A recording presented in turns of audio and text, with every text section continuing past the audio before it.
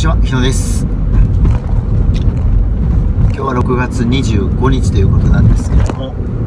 まあ、今ちょっとですね、道をあの間違えましてですね、えー違うところに来てしまう、違う、あの、A という場所に行かなきゃいけないんですけれども、なんかもう無意識ですね、B という場所に向かってると思ってまして、で、B という場所に向かってました。でも本当は A という場所に行かなきゃいけないというね、えーまあ、あの、動画で喋りながら説明してるとですね非常にそういう点であれですね。いつの間にかこう習慣に従って何も考えずに来てしまいました。で今ちょっと必死に戻っているところなんですけども。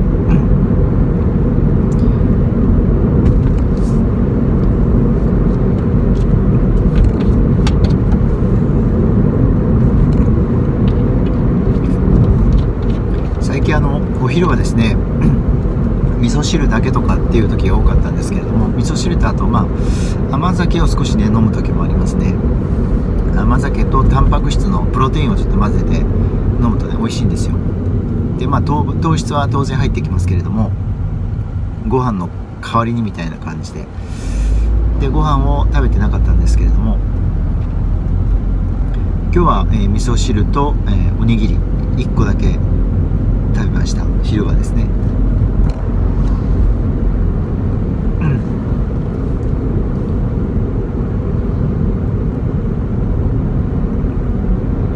まあ、糖質制限っていうのも、あのー結構極端にする人もいればちょっとこう緩やかにする人もいるっていうことで、まあ、この辺りは本当いろんな賛,、え賛否というのかありますよね。だから、まあ、どっちが本当でどっちがあれなんだっていうところもあるんですけれども一応ですね、えーその辺りは、まあ、僕自身は完璧に糖質は立ってないですね。やはりあのそういうのもケトン体ダイエットってあるんですけれどもそこまでまだ徹底は、えーできてないですね。で、まあ、それをすることによってあの体調確かに良くなる人もいれば逆に悪くなる人もいる。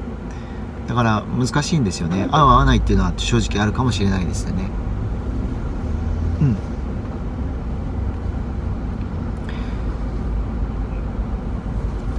まあ、糖質以外の脂質をエネルギーにするということでややっていくのがケトン体ダイエットですね。で糖質入れないっていうのはやっぱりなかなかね難しい結構ぎっちりがっちりとやるっていうふうにいかないと難しいですよね。なかなかその辺りがですね僕はあの甘酒がすごく好きでね甘酒を飲んじゃうっていうか、甘酒をちょっと飲んじゃう、まあ、そうするとすごくあのご飯がなくてもいいうね、まあ、糖質になりますから、まあ、そういうのでやってますけれども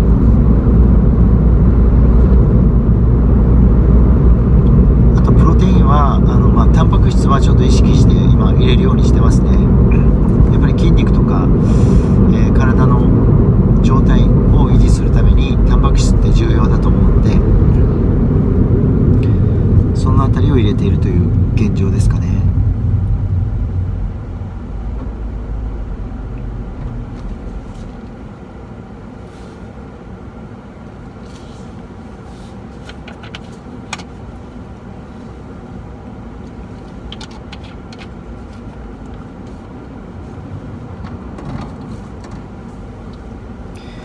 ま今ですね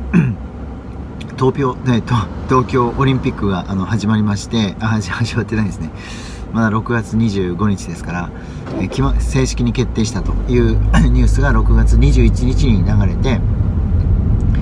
で6月の23日に、えトカラ列島っていうあの鹿児島のトカラ列島ってありますよね下の方に。でそこで、まあ、地震がね頻発したというか地震が起こり、まあ、噴火ですね。ごめんなさい。噴火がありまして、えーレベル2からレベル3にあのこう引き上げられたということが報道されてましたけれども、えー今年の4月の19日から、えー21日だったか22日か、えーそれぐらいまでにもですね、えー4日間ぐらいで23日から23日まで4日間ぐらいかけて結局ですねあの群発地震が起こりまして4日間で200回超の地震があったということが報道されてます。だからその辺りが今動いてる。で日本全国でも、まあ、和歌山とか、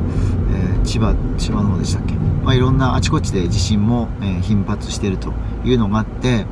あのトカラ列島の辺りってこうフィリピン海プレートがあってその向かいに、えー、まあ、日本列島の九州とか西日本も含むんですけれども、ユーラシアプレートっていうのがありますよね。でそこがせせめぎ合ってるというのか。でそこで どんどんとこう地震が起こってるということはそこの歪みがねどんどんこう溜まっていってるっていうことになるみたいなんですね。でその歪みが限界まで溜まっていくと最後それが弾けるっていうことになりますから海溝系のその大地震群発地震っていうのが、まあ、南海トラフ含めてそういう地震が起こる可能性があるということもあの指摘されていたりしますので決して油断できない状況になってきてるんですよね。で、まあ、2011年にあの東北大震災があった後に結構富士山の辺りも動いてますので、まあ、そのことによって富士山に関してもですね、え、いつ噴火してもおかしくないような状況にはなっているということも言われています、まあ、これはあのあまりこうどんどんねメディアとかで報道されると何、えー、ていうか怖いっていうイメージがあるかもしれないんですけれども、えー、ただそういうのが実際に起きてるということですよね。だからこの辺りはもうきちんとですね見ていくしかないんですけれども、えー、まあ本当にねこれから注意していかなきゃいけない時期になってきてるというふうに思います。ですから最悪を想定するっていうのは大事なことで何もこう想定せず備えもせずっていうことだとそもしねそういったことが起きた時に慌てるふためくわけですよね。そうではなくもうある程度想定して最悪を想定した上で備えをしていくっていうことも必要ではないかなというふうにねあの今感じていますね。じゃあだからって僕がきちっときちっとねできてるのかっていうと、うん、まだできてないところも多々ありますのでただちょっともうあまりこう猶予ができない状況になってきてるような気がしますよね。でしかもオリンピックをこうご利用して開催するというねことを今してもしと、えー、してますからそういう意味では、えー、要注意の時期に入ってきてると思います。だから7月8月、まあ、9月オリンピック、えー、パラリンピックとありますけれども、えその辺りの時期は特に要注意だと思いますし、まあ、無難に本当に過ぎることをね、え願いたいなというふうに思います。で富士山に関しても、まあ、今年の8月だっていうねこう予言とかありますよね。でそういったのもあのあながちねそんなことありえないっていうことも言い切れない気がするんですよね。ただあの想定することでそれがあの回避できるっていうのは量子力学の法則からねあるっていうかそういうふうに言ってますよね。だから想定する意識を中止すればそれが起こらないっていうねことになりますからできるだけあの僕たちっていうのは意識して、えー、最悪を想定する。でそうすると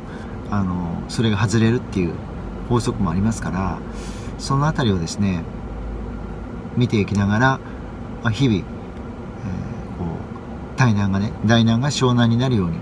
祈っていくっていうのも重要じゃないかなって思います。ということで、えー、今回はね以上になりますありがとうございます